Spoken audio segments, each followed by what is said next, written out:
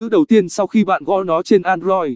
Thông thường, những người lười sẽ xóa lùi lại cho đến khi chạm đến từ cuối cùng, sau đó gõ lại. Trong khi đó, những người siêng hơn một tí sẽ di chuyển con trỏ đến từ sai, sau đó xóa ký tự sai hoặc cả từ và gõ lại.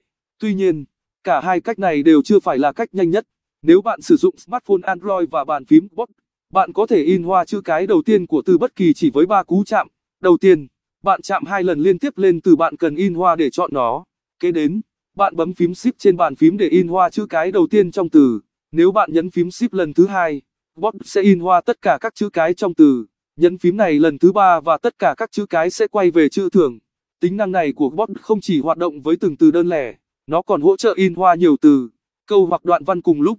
Tất cả những gì bạn cần làm là chọn những từ, câu hoặc đoạn văn bạn muốn in hoa.